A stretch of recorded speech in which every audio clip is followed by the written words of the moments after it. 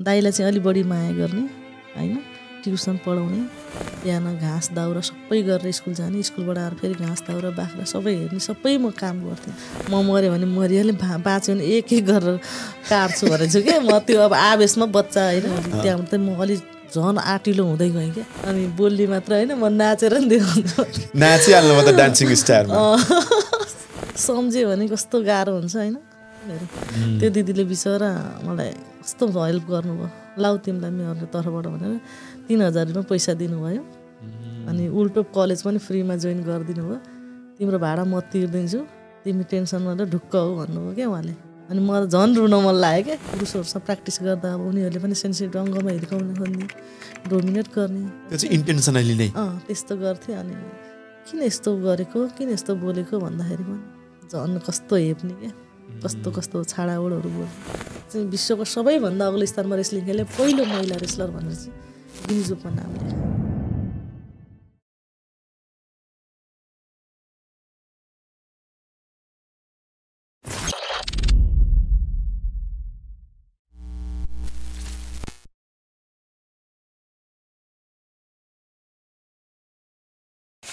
नेपालमा छिटो सजिलो र वैधानिक तरिकाबाट राम्रो एक्सचेन्ज रेटमा बिना कुनै ट्रान्सफर शुल्क पैसा पठाउन mobile application tap tap sent तपाईँले गुगलको प्ले स्टोरबाट र एप्पलको एप स्टोरबाट डाउनलोड गर्न सक्नुहुनेछ।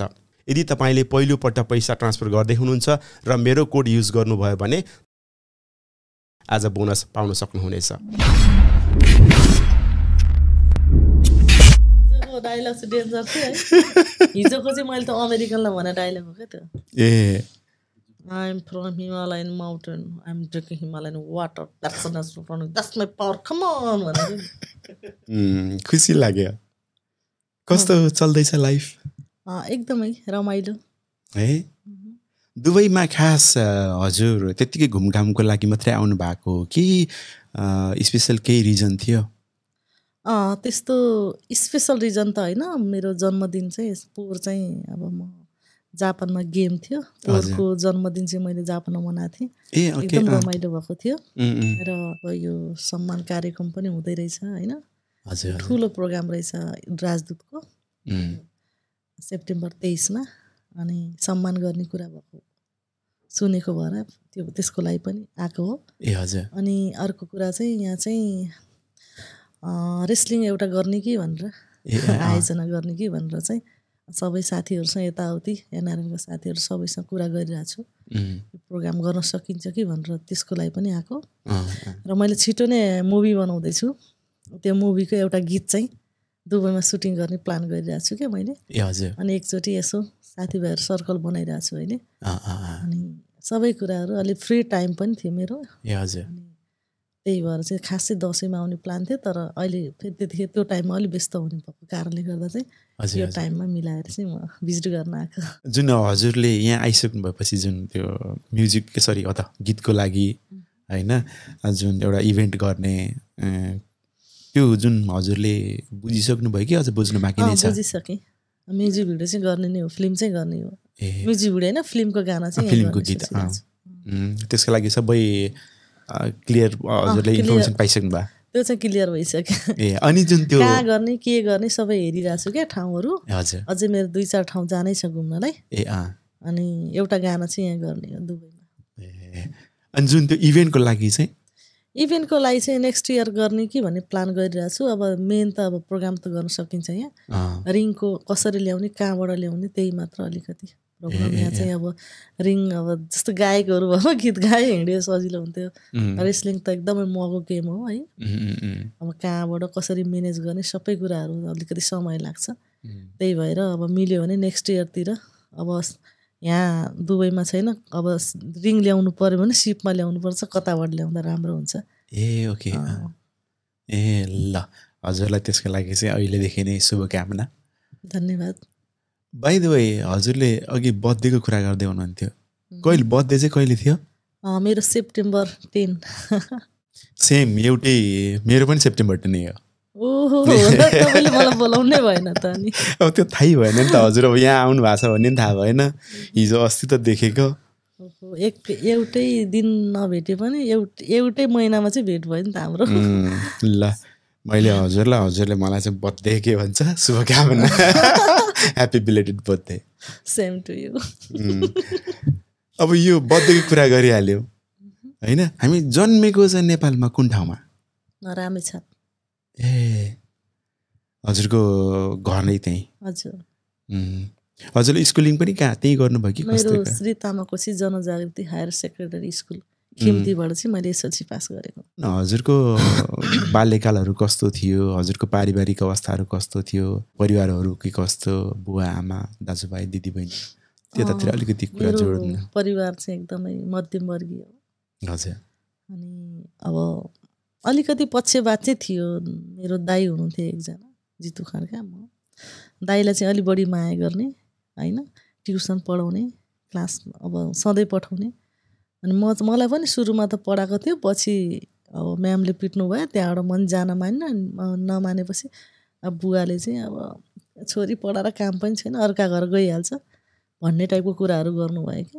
अनि म ठुलो भइसकेपछि सबै मेरो म मेरो सर्कलको सबै स्कुल जाने कि। अनि म हेरा हेरे गर्थेँ अनि आँखा बढी आँसु आयो म पनि स्कुल जाने नि मम्मी भनेर भनेपछि मम्मीले ल ल जान त भनेर मम्मीले पठाउनु भयो। अनि पढाइमा एकदम फर्स्ट हुँदै गएँ क्या म। गीत गाउन पनि फर्स्ट हुन्थेँ। ए। अनि पछि अब खेलकुदमा पनि फर्स्ट हुँदै गएँ कि। ओहो। अनि अब घरमा सबै कामहरू गर्थेँ। अब भैँसी दुनेदेखि लिएर गोबर सोर्ने सबै काम गर्थेँ। अनि अलिक ठुलो भएपछि त्यहाँ म म कति भने नौ वर्ष नौ वर्षदेखि तामाकोसी नदी तर्न थालेँ मैले। नदी तर्ने क्या। त्यहाँ म मात्र हो त्यति सानो उमेरमा त्यसरी दौ स्विमिङ गर्ने।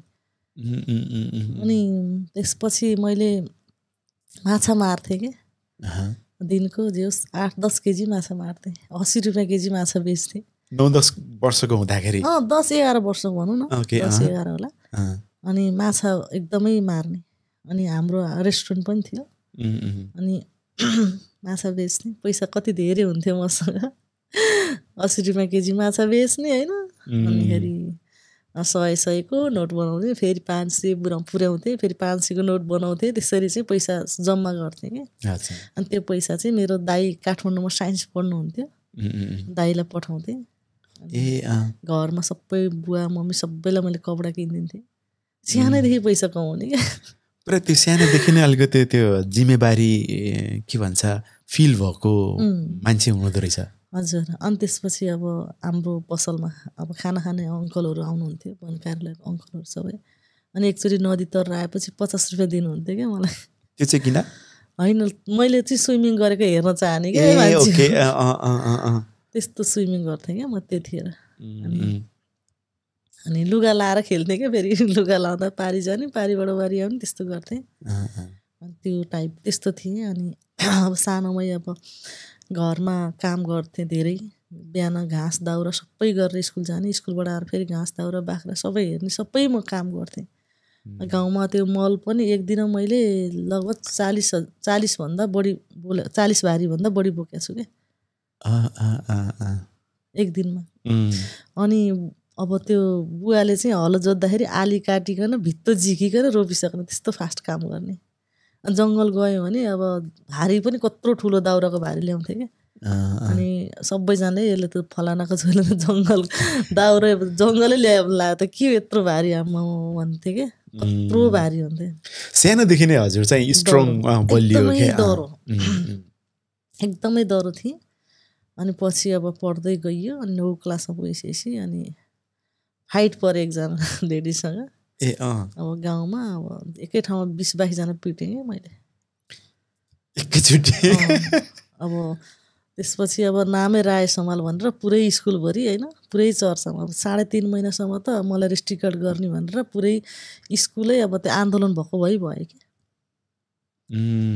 त्यस्तो भयो त्यो हजुरले बदमासी गर्यो भनेर झगडा भनेर बदमासी म मान्छे होइन म एकदम सोझो मान्छे म एकदम इमान्दारी त मान्छे तर त्यो लेडिजले नै मलाई अलिकति गलत ओडहरू बोलेको थियो. अनि उसैले न्यु खोजेको भएर चाहिँ त्यो दिमागमा चाहिँ त्यो भयो क्या अनि पिर्टा पिर्ट झगडा पऱ्यो। झगडापछि त्यो छुट्याउन आयो छुट्याउनु सबैलाई पिट्यो क्या मैले? लाठो रिस उठ्यो। अँ त्यस्तो भयो। अनि त्यहाँबाट अब मलाई रेस्ट्रिक्ट गर्ने भनेर लगभग साढे तिन महिनासम्म त्यहाँ क्लासै त्यो भयो क्या झग सधैँ आन्दोलन मात्र। ए। अनि त्यो भएको भएर अनि पछि फेरि सेलाउँदै गयो। म मऱ्यो भने मरिहालेँ भा बाँच्यो भने एक एक गरेर काट्छु भनेको छु क्या। म त्यो अब आवेशमा बच्चा होइन त्यो टाइपमा। म पनि अलिक त्यहाँबाट चाहिँ म अलिक झन् आँटिलो हुँदै गएँ क्या। ए ओके। त्यस्तो झगडा गर्ने त्यो टाइपको मान्छे होइन तर समयले त्यस्तो बनाइदियो क्या मलाई। त्यहाँबाट अनि फेरि अब अप्सनल म्याथ लिएर पढेको ट्यालेन्ट थिएँ है।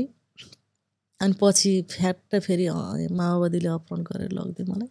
ए कति क्लासको जान्न भन्दा पनि जबरजस्ती माओवादी लग नौमै पढ्थेँ म ए। अनि त्यसपछि अनि माओवादी पार्टीबाट अनि पछि भागेर अनि आएँ आइसिएससी एसएलसी दिएँ होइन एसएलसी राम्रै कति जति बस्नुभयो उता माओवादीको। जुन त्यो ठाउँमा धेरै त बसेन म सात आठ महिना बसेँ होला अनि नौ भनेपछि द एसएलसी दिने टाइममा एसएलसी दिएँ अनि अलिक पढाइ बिग्रियो मेरो।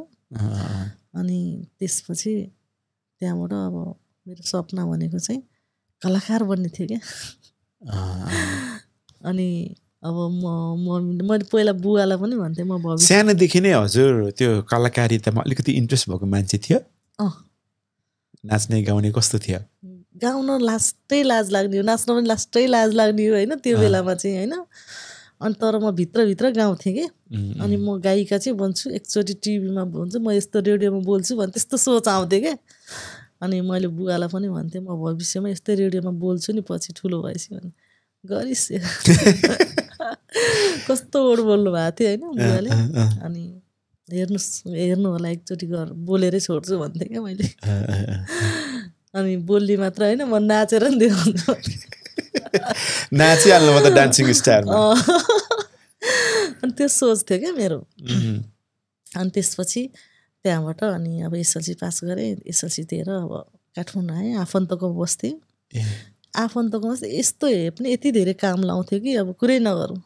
अनि त्यो बल्खु भन्ने ठाउँमा उनीहरूले त्यो खनाएर यत्रो यत्रो ठेला हुन्थ्यो क्या मेरो। अनि भात खायो भने एकदम डा गर्ने रिस गर्ने घरबाट ल्याएर खानुपर्छ नि।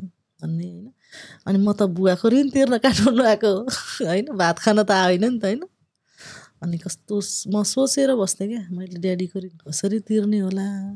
मेरो दाइलाई काठमाडौँमा सा- चा के अरे कति? चार लाख भएको थियो साइन्स पढ पढ्दा ऋण लागेको थियो क्या ड्याडीको। आठ लाख भएको थियो क्या ऋणै आठ लाख थियो।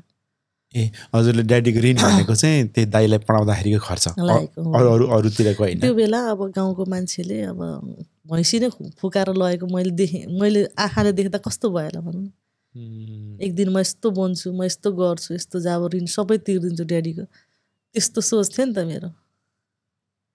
अनि त्यहाँबाट मैले होइन मैले केही गर्नुपर्छ भनेर एकजना बहिनीसँग कुरा गरेँ अनि उसले मलाई जब लगाइदियो। जब लगाएपछि अनि मैले त्यो चार पाँच हजार कति पैसा कमाएको थिएँ। अनि दुई तिन महिना काम गरेँ होला। अनि पछि त्यही बहिनीकोमा बस्थेँ क्या म। ए अनि का स्यालेरी आएछ त बहिनीले न अब तपाईँ आफ्नै उसमा बस्ने नि अब रुम खोजेर भन्नु थाल्यो। ए अब म कस्तो के अनि आफन्तकोमा आफ घर गएँ कि आफ्नो आफ अर्को आफन्तको घर गएँ।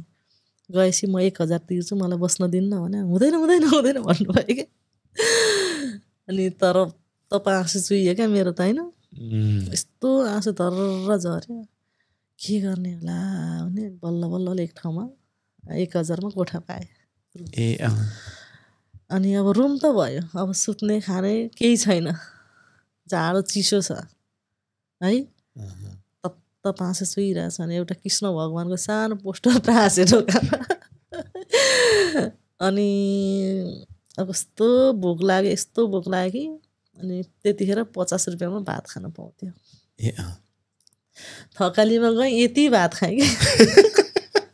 थप्या छ थप्या छ हेरे सबैले कति दिनको भोको थिएँ होइन त्यहाँबाट अनिखेरि यस्तो होइन अनि घर रुममा गएँ अब ओढ्नी नै छैन सानो एउटा त्यो दुई सयमा किनेको थिएँ ओढ्नी होइन भुइँमा चिसोमा अनि त्यो भगवान्को फोटो हेर त्यो जाडो महिनामा इनारको पानी खान्थेँ क्या म अर्को अर्को महिनाको स्यालेरी नआउन्जेलसम्म त के गर्ने भनिस त पैसा एक महिना त्यसरी नै कटाउनु भयो त्यो एउटा ब्ल्याङ्केटको भरमा रोटी खाएर एक हप्ता त भुक्कै बस्यो।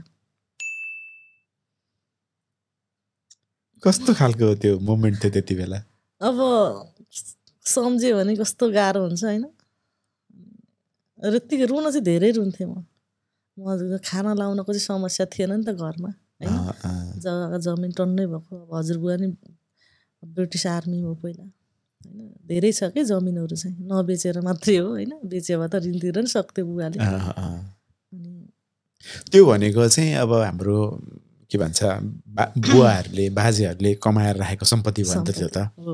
तर तपाईँ त्यहाँनिर गएर त्यसरी रुनु परेको अवस्था भनेको त त्यो त तपाईँले आफैले कमाएर गर्छु केही भनेर हिँडेको अवस्था हो नि त। अनि यस्तो गाह्रो भयो क्या। अनि बल्ल बल्ल बल्ल स्यालेरी आएपछि अनि टक्क उड्ने नि किने कि त्यो बेलामा अब पाँच छ सयमा झ्याप्प आउँथ्यो कि। अनि त्यहाँबाट अनि त्यो भइसकेपछि अनि फेरि टक्क अब ड्रेसहरू पनि किने अनि राम्री भएर हिँड्न थालेँ अनि अब अनि अब कलाकार बन्ने सपना थियो मेरो अब कलेज जोइन गर्नु पऱ्यो भनेर अनि अनि कलेजमा त्यहाँ पद पद्मकन्या क्याम्पस गएँ जाडो थियो ज्याकेट ज्याप बदलाएर गएँ अनि सोभि सभापतिले चाहिँ अनि हेर्ने बित्तिकै हो कस्तो खतरा हुनुभयो लडाकु टाइपको क्या। त्यो खाना नखाए पनि बोल्यो चाहिँ बोल्यो डह्रो देखिने क्या ज्याङ त्यो मेरो हड्डी नै एकदम ठुलो क्या ज्यानै ठुलो। अनि उहाँले चाहिँ अनि मलाई अब सबै कुराहरू सोध्नु भयो म यस्तो यस्तो यस्तो गरेँ यस्तो गरेँ यस्तो गरिरहेको छु मलाई यस्तो गाह्रो छ बल्ल स्यालेरी आएर यसरी कलेज जोइन गर्न आएको भनेर आहा भोरि आँसु आयो क्या मेरो। त्यो दिदीले बिचरा मलाई कस्तो हेल्प गर्नुभयो। लाउ तिमीलाई मेरो तर्फबाट भनेर तिन हजार रुपियाँ पैसा दिनुभयो। अनि उल्टो कलेज पनि फ्रीमा जोइन गरिदिनु भयो। तिम्रो भाडा म तिर्दिन्छु। तिमी टेन्सन गरेर ढुक्क हो भन्नुभयो क्या उहाँले।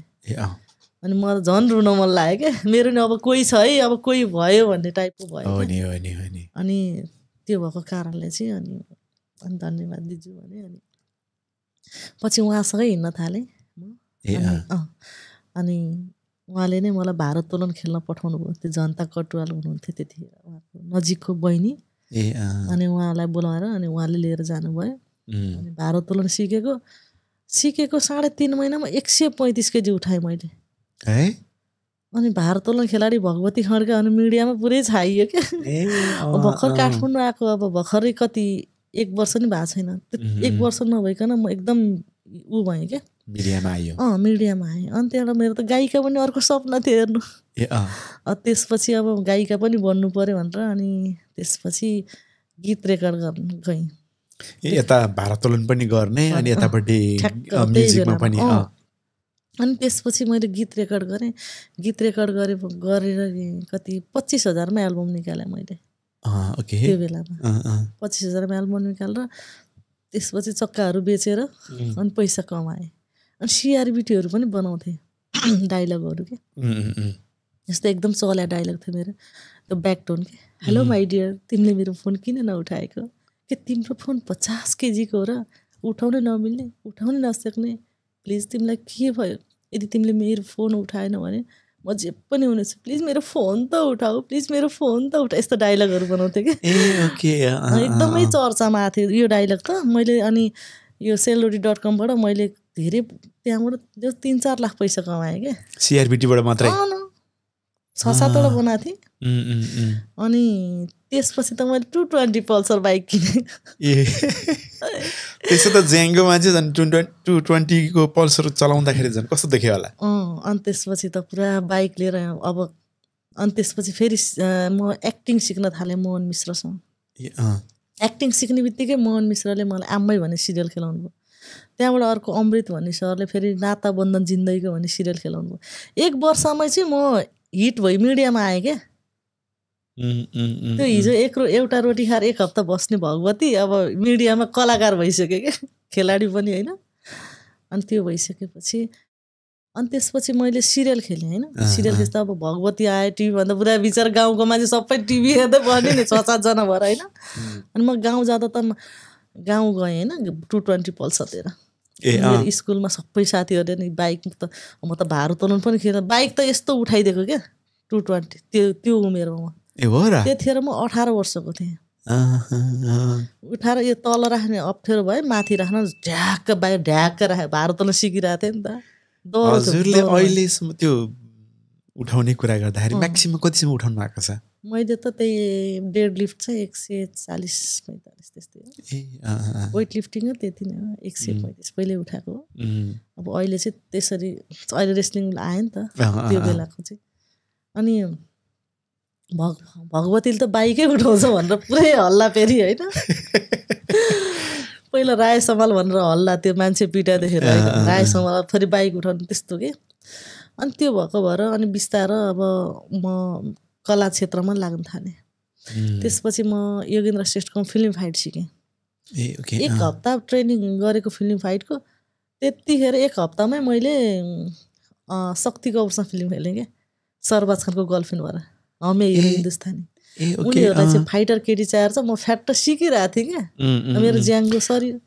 त्यो सिन चाहिँ के नेपालमै सुट थियो कि कसरी? ए अँ। ओके अँ। रेखा थापालाई शक्ति कपुरले हातपात गर्यो भने त्यो एकचोटि मिडियामा पनि भाइरल भएको थियो नि त्यही फिल्म हो। ए अँ ओके। अँ, त्यो फिल्ममा काम गर्ने अवसर पाएँ। त्यहाँबाट त रेगुलर फिल्ममा त भिलेन खेलाउन थालिहालेँ होइन?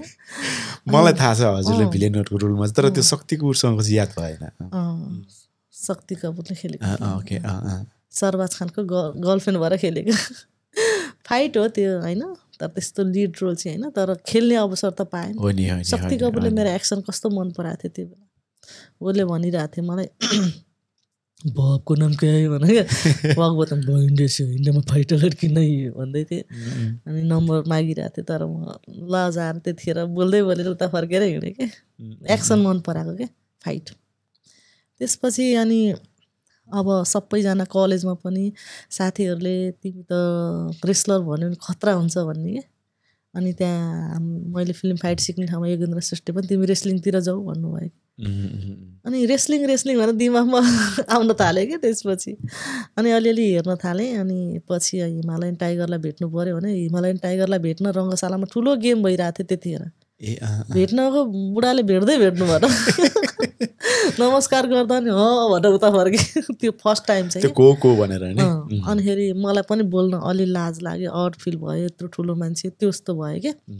अनि पछि प्रोग्राम भवनमा एउटा प्रोग्राम भइरहेको थियो। त्यहाँ फ्याट भेट भयो। ए ओके टाइगर गुरुसँग। अनि गुरु म पनि रेस्लिङ सिक्नु पऱ्यो तपाईँलाई भेट्न यति धेरै पछि लागिसकेँ। तर कहिले भेट्नै पाएन तर आज अकस्मात भेट भयो भन्दाखेरि ए हुन्छ नि त तिमीलाई रहर छ भने आऊ ट्रेनिङ गर्न। भनेर नम्बर दिनुभयो। अनि उहाँसँग भेटेर अनि ट्रेनिङ गरेँ। एक महिना जति सिकेँ। एक महिना सिक्ने बित्तिकै पहिलो म्याचै मैले अमेरिकाको द ग्रेट चिनियरसँग चाहिँ अराखाँचीमा गेम खेलेँ। पहिलो म्याच। अब के भयो? म त पहि अब अमेरिकाको अमेरिकन केटीसँग गेम खेलेँ नि त फर्स्ट म्याचै त्यसको कनेक्सन कसरी भयो? त्यसको कनेक्सन अब त्यो हिमालयन टाइगरले आयोजना गरेको ओके। उहाँले आयोजना गरेको गेममा चाहिँ अमेरिकन केटीसँग चाहिँ प्रतिस्पर्धा गर्न पाइयो क्या। त्यो फर्स्ट टाइम त्यसरी छ नि एउटा इन्टरनेसनल प्लेयरहरूसँग त्यसरी खेल्न पाउँदाखेरि कस्तो खालको फिल हुँदो रहेछ? अब फर्स्टचोटि एकदमै कस्तो फिल भयो भने अब त्यो अराखाँचीमा खेलेको होइन त्यहाँ लगभग दुई लाख जनतामा लगभग तिस हजार जति मान्छे थियो क्या। सबै उर्लेको थियो। होइन? अनि अब त्यत्रो जनताको बिचमा खेल्दाखेरि अब सबैले नेपाल नेपाल भनेर भोटिङ गर्दाखेरि चाहिँ मलाई आफूले आफूलाई एकदम प्राउड फिल गरेको थिएँ क्या मैले। अनि त्यहाँको मान्छेहरूले पनि अब मैले जितेको राम्रो गेम खेलेको भएर धेरैले गिफ्टहरू पनि गरेको थियो क्या मलाई। अनि हाम्रो नेपालमा नि यस्तो खतरा रेस लेडिज भनेर कति प्राउड फिल गर्नुभएको थियो। जुन पहिलो म्याचमा चाहिँ क्या। अनि त्यस्तो भएको भएर चाहिँ झन् म मैले मेरो आत्मबल एकदम झन् स्ट्रङ भयो क्या। मैले केही गर्नुपर्छ अब भन्ने सोचाएर नै म अहिले चाहिँ यो ठाउँमा पुगेको। म नेपालको पहिलो रेस्लर भनेर मलाई मेरो कान्तिपुरले झ्याप्प लेखिदियो हेर्नु। त्यहाँबाट मेरो सामान्य ज्ञानमा नाम आयो। त्यसपछि लोकसेवामा आयो क्या। अनि त्यसपछि अब नाम त आयो नि त होइन नाम आइसकेपछि अनि अब कसरी अब झन् यसलाई चाहिँ रेगुलर लाने भन्ने फेरि एकदम धेरै गाह्रो पनि थियो त्यो बेला मलाई। किनभने रेस्लिङ ट्रेनिङ गर्दा अब टाइगर गुरुसँग ट्रेनिङ गर्दा मलाई जथाभावी जहाँ पाएँ त्यहाँ हिर्काउने गर्ने हुन्छ नि एउटा लाज अनि सेन्सिटिभ अङ्गहरूमा लागिरहेको थियो तर म त्यो लाज पचाएर सिकेँ हो नि त मैले। अब अनि प्र्याक्टिस त्यो बेलामा त लेडिज हजुर मात्रै त थियो नि। लेडिज कोही थिएन अनि प्र्याक्टिस त गरिराख्नुपर्छ हेर्न। केटासँग पुरुषहरूसँग प्र्याक्टिस गर्दा अब उनीहरूले पनि सेन्सिटिभ अङ्गमा हिर्काउने खोज्ने डोमिनेट गर्ने त्यो देखेर त्यो चाहिँ इन्टेन्सनली नै। अँ त्यस्तो गर्थेँ अनि किन यस्तो गरेको? किन यस्तो बोलेको भन्दाखेरि पनि झन् कस्तो हेप्ने क्या? कस्तो कस्तो छाडाओडहरू बोल्ने। चुबु लाएर अनिखेरि म अब नेपालमा अरू पनि रेस्लर उत्पादन गर्छु भन्ने मेरो सोच आएको थियो कि अनि म फिल्महरू चाहिँ लगा लगातार गरिराख्थेँ। अनि ठ्याक्क अब हलदार सुन्तलीको सुटिङमा हाम्रो अस्मिता जुरेलीलाई भेट भयो। ए अनि ऊ त सानो फुच्ची थियो। त्यतिखेर भर्खर कति दसमा पढ्थ्यो कि त्यस्तै थियो।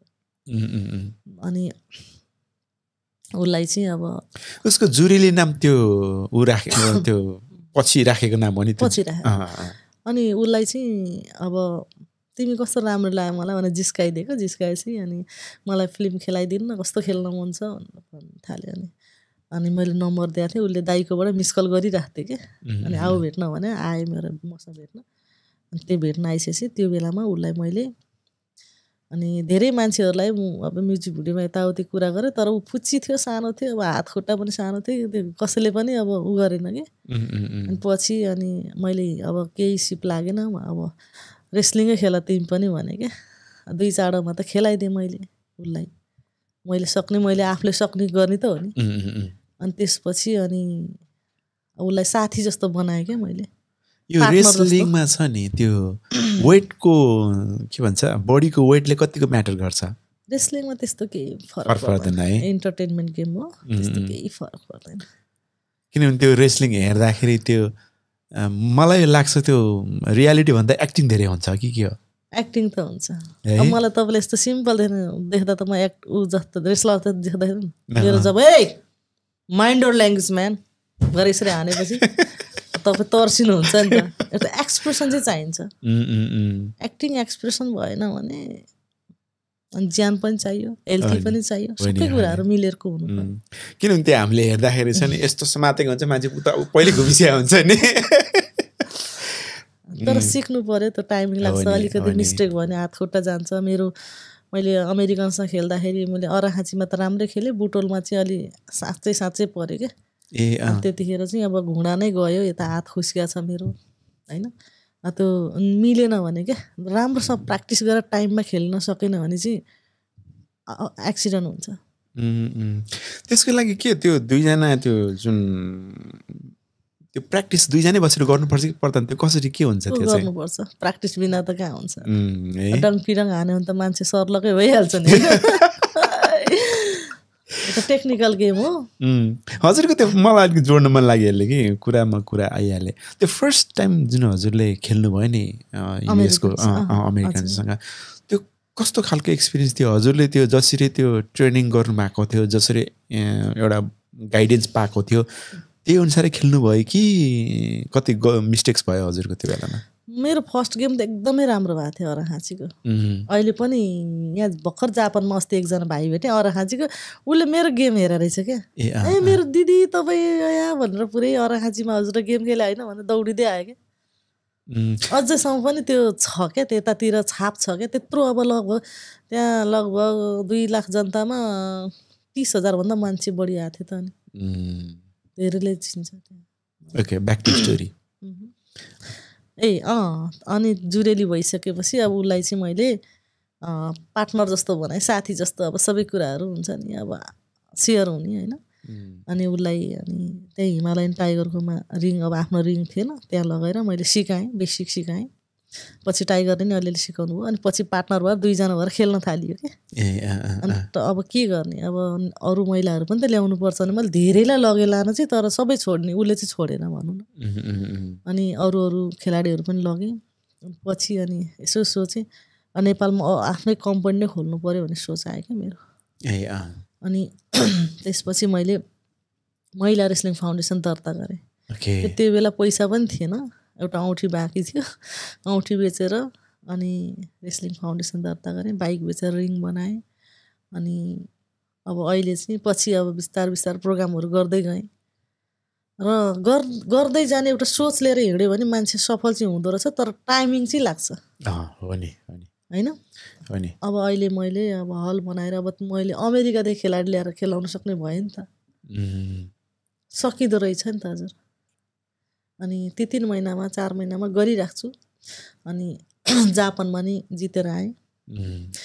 अनि अहिले सगरमाथामा चाहिँ यो विश्वको सबैभन्दा अग्लो स्थानमा रेस्लिङ खेलर चाहिँ विश्वको सबैभन्दा अग्लो स्थानमा रेस्लिङ खेले। पहिलो महिला रेस्लर भनेर चाहिँ गिनिज बुकमा नाम लेखाएँ। कति अगाडि भर्खर यो एभरेस्ट डेको दिन हो। कुन महिना पर्छ भनेपछि जेठको सोह्र गते गरेको। ए भर्खरै रहेछ सोह्र गते बधाई छ त्यसको लागि। अहिले चाहिँ अब जे होस् न अब विश्वको सबैभन्दा अग्लो उचाइमा रेस्लिङ खेल्ने पहिलो रेस्लर भनेर नाम आयो। अब अमेरिकाको अमेरिकाको डब्लुडब्लुईको खेलाडी. डानी मोलाई ल्याएर त्यहाँ पछाएर चाहिँ मैले रेकर्ड राखेको। त्यो मैले त्यो हुन्छ नि हजुरसँग बसेर अहिले यो टपिकमा यसरी हजुरको एचिभमेन्टको बारेमा एउटा देशको लागि एउटा नाम राखेको कुरा गर्नु पाउँदाखेरि छ नि मलाई आफैलाई भित्रभित्र छ नि कस्तो त्यो एउटा प्राउड हुन्छ नि फिल भइरहेछ क्या। धन्यवाद सर। अब अनि त्यस पछाडि जुन एभरेस्टको जुन यो एभरेस्ट डेको दिनमा गर्नुभयो हजुर। अब अर्को चाहिँ फेरि के छ कस्तो छ अब छिटो नै अब यो तिलिसो तालमा गर्दैछु विश्वको सबैभन्दा अग्लो स्थानमा रहेको तालमा। अब यो चैतको पाँच गते गर्दैछु त्यसको तयार गरिरहेको छु स्पोन्सर खोज्नु पर्यो होइन। म्यानेज गर्दैछु। खर्च त लाग्छ नि।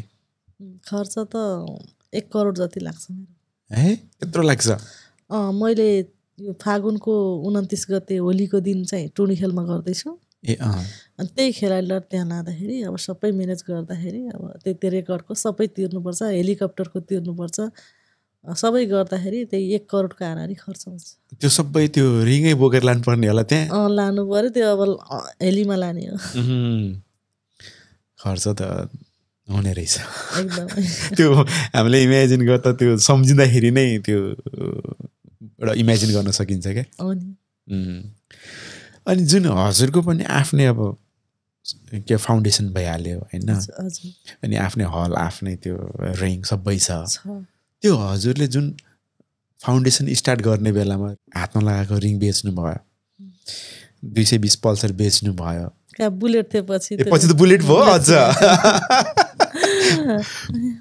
अनि त्यो त्यसरी खर्च गरेर तपाईँले जुन फाउन्डेसन स्टार्ट गर्नुभयो तर जुन सेटअप गर्नुलाई त फेरि लाग्यो नि त खर्च त्यो चाहिँ कसरी जुट्यो त? सेटअप गर्न मेरो एकजना सन्जु बज्रचार्य भन्ने दिदी हुनुहुन्थ्यो उहाँले हेल्प गर्नुभयो। साथीहरू अलिअलि सबैले थोरै थोरै सबैले मेरो सर्कलकोले मलाई माया गर्नेले सबैले सहयोग गर्नुभयो।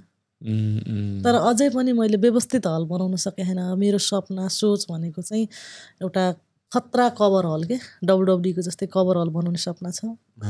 अनि सतहत्तरै जिल्लामा रेस्लिङ सो गर्ने सपना छ। अनि प्रत्येक स्कुल कलेजमा गएर सेल्फ डिफेन्सको ट्रेनिङ गराएर बलवान केटीहरू बनाउनु सपना छ। अब बिस्तारै गर्दै जाउँ सबै कुराहरू एकैचोटि हुँदैन। अब टाइमिङ लाग्छ गर्न चाहिँ गर्छु म।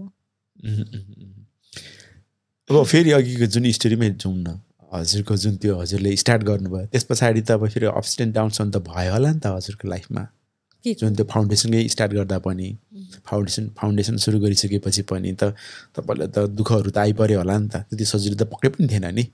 होइन मैले फाउन्डेसन रिङ बनाइसकेपछि मलाई त्यस्तो समस्या भएन।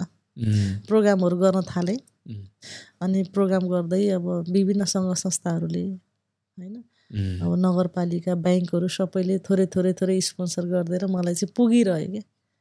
अहिले मलाई त्यस्तो गाह्रो छैन। विगतमा धेरै गाह्रो थियो तर अहिले त्यस्तो समस्या छैन। सबैबाट जे चलिरह मात्र रहेछ जुन गर्न सक्ने चाहिँ अझै भएको छैन। चल्न चाहिँ चलिरहेछ क्या। लाइफ जुन खाना लाउनको चाहिँ समस्या भएको छैन। गर्न सक्ने चाहिँ भएको छैन भनेको चाहिँ अब सक्ने भनेको चाहिँ कस्तो भने डब्लुडब्लुको जस्तो हल बनाउन सके छैन क्या? मेरो टार्गेट त्यो हो नि त होइन? अब त्यो नि अब हेरौँ अब छिटो नै बनाउँछु भन्ने सोच छ। त्यसको लागि चाहिँ पहल कसरी गरिराख्नु भएको छ? पहल अब राम्रै छ यहाँ दुबईबाट पनि अब अलिअलि सहयोग उठ्दैछ। ए अब दाईहरूले अब यहाँ हाम्रो भवानी दाईहरू हुनुहुन्छ त्यहाँ हाम्रो ठाकुर सरहरू हुनुहुन्छ सबैजना लागि पर्नु भएको छ। अब डोनेसनहरू अलिअलि उठेको छ भनौँ न। ए ए। त्यो भयो। अनि अरू के छ फ्युचर प्लान यही हाम्रो जुन हजुरको फाउन्डेसनसँगै रिलेटेड?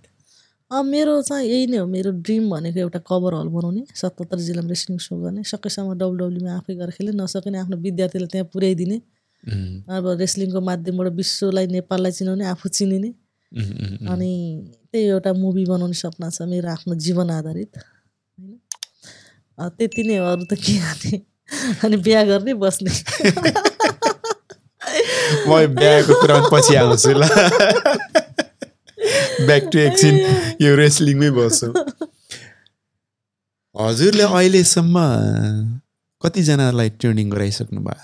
मैले अहिलेसम्म लेडिजहरू एक सय उन्नाइसजनालाई गराएँ पुरुषहरू त्रिचालिसजनालाई गराएँ चौसठीवटा फिल्म खेलेँ सत्ताइस अट्ठाइसवटा सिरियल खेलेँ अनि दुई सयभन्दा बढी रेस्लिङ कार्यक्रम गरिसकेँ आयोजना।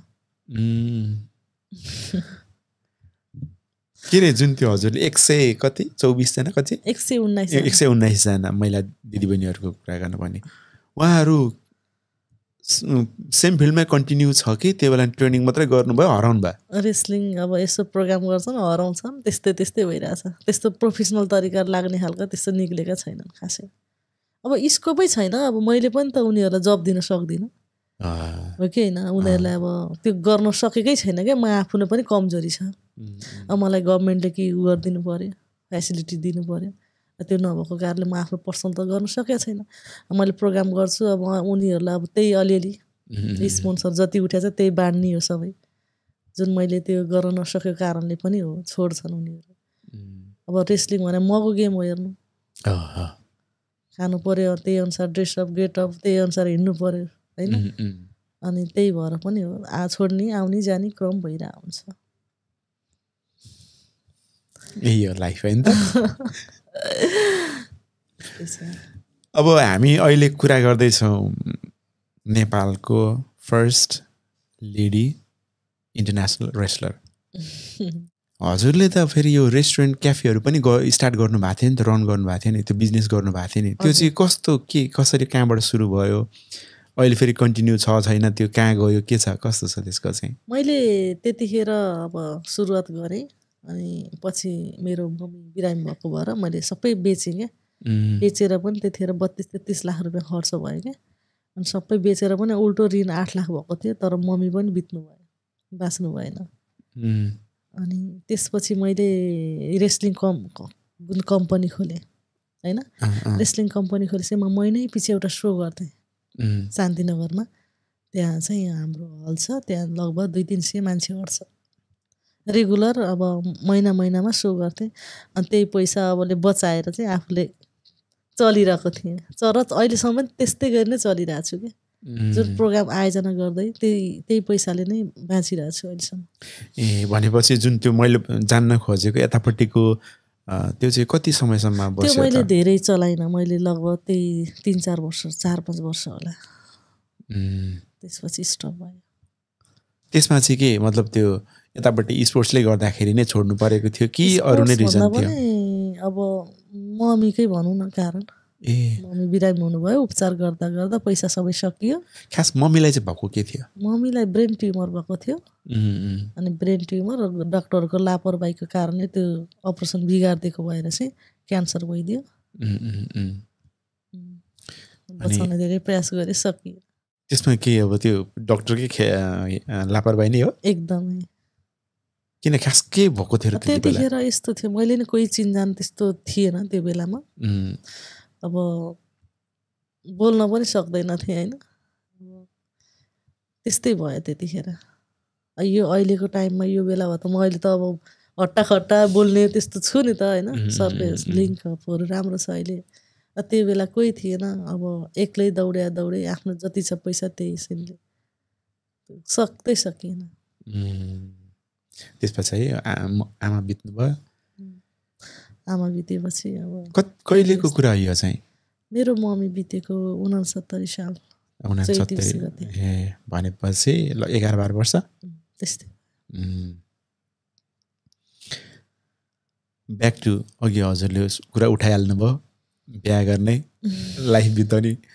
के छ? हजुरको अहिलेसम्म अब यतिसम्म आइसक्नु भएको छ। हजुरलाई माया गर्ने मन पराउने। त हुनुहुन्छ होला। कि कस्तो छ अलिकति यो खोल्न मिल्छ? लभ लाइफहरू यताउता के छ हजुरको? लभ लाइफ चाहिँ यस्तो भयो। अब पहिला एकजना साथी हुनुहुन्थ्यो। त्यो मम्मी बित्नुभन्दा नि अगाडि नै।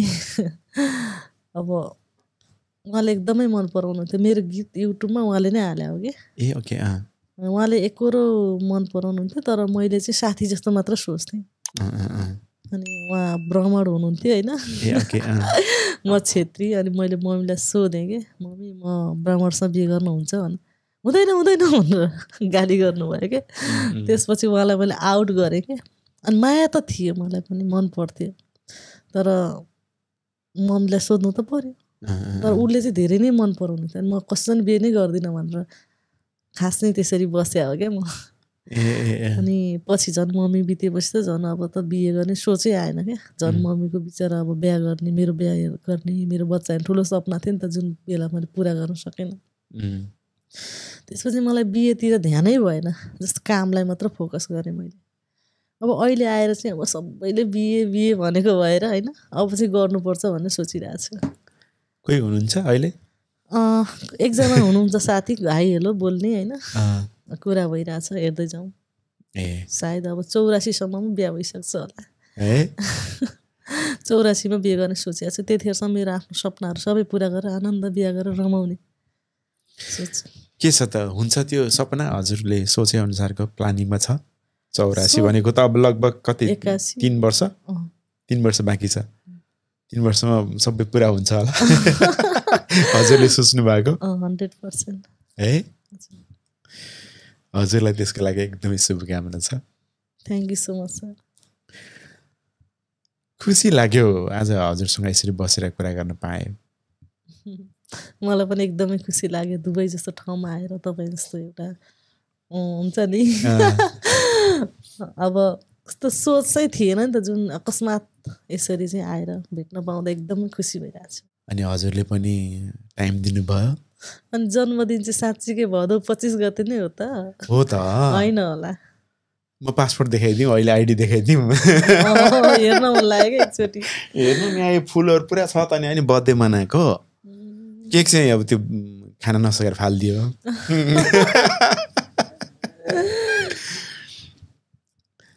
कस्तो कस्तो भयो हाम्रो कुराकानी? हजुरलाई कस्तो लाग्यो? तपाईँ एकदम फेन्टास्टिक स्विट अनि। मलाई त अझै बोलिराख्न मन छ कि। अझै धेरै क्वेसन गर्दै पनि हुन्थ्यो जस्तो फिल भइरहेछ। के छ त? हजुरको साइडबाट यो कुरा टपिकमा चाहिँ कुरा गर्न पाएको हुन्थ्यो भन्ने छ। केही छैन छन् त। अब हजुरले सोध्नु भयो भने त निक्लिहाल्छ नि होइन र. अनि त्यो अब हजुरलाई त फेरि जुन eight nine class nine class पढ्ने बेलामा माओवादीले लिएर पनि गयो। अब तिन चार महिना दुई चार महिना कति भयो त्यहाँ?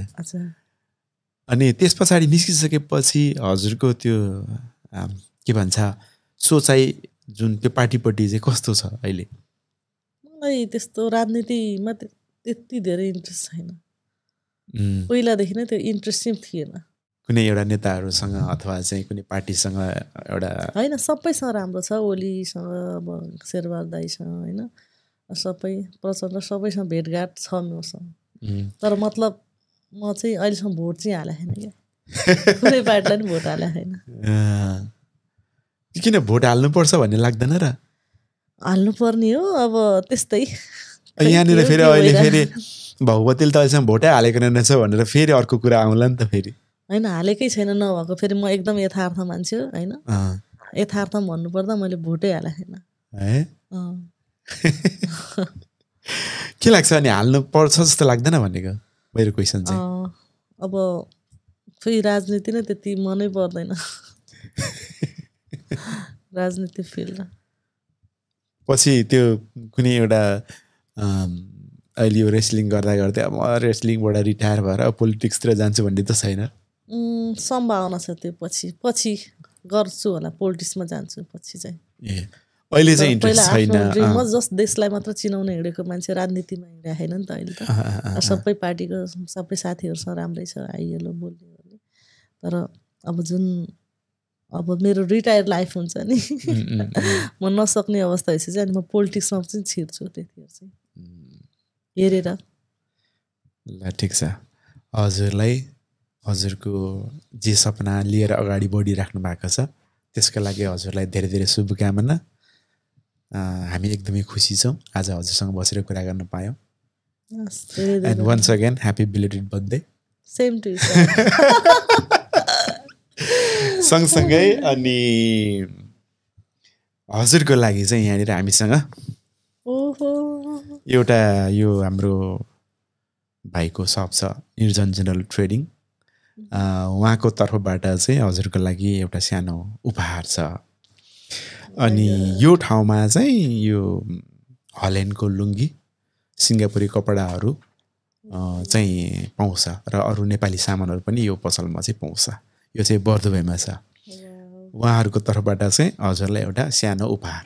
थ्याङ्क यू सो मच हेर्न मन लागिसक्यो अनि सँगसँगै अ, यो चाहिँ फेरि हाम्रो तर्फबाट है। यो चाहिँ हर्क पोडकास्टको तर्फबाट चाहिँ हजुरलाई हाम्रो एउटा के भन्छ उपहार मायाको चिनो जसरी सम्झिनु भए पनि हजुरको लागि हाम्रो हस्। नेपालमा छिटो सजिलो र वैधानिक तरिकाबाट राम्रो एक्सचेन्ज रेटमा बिना कुनै ट्रान्सफर शुल्क पैसा पठाउन mobile application tap tap sent तपाईँले गुगलको प्ले स्टोरबाट र एप्पलको एप स्टोरबाट डाउनलोड गर्न सक्नुहुनेछ। यदि तपाईँले पहिलोपल्ट पैसा ट्रान्सफर गर्दै हुनुहुन्छ र मेरो कोड युज गर्नुभयो भने आज बोनस पाउन सक्नुहुनेछ